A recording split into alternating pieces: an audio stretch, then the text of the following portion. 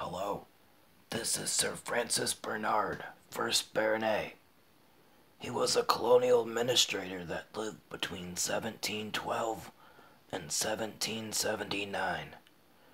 He served as the 10th governor of the province of New Jersey and as the 11th governor of the province of Massachusetts Bay.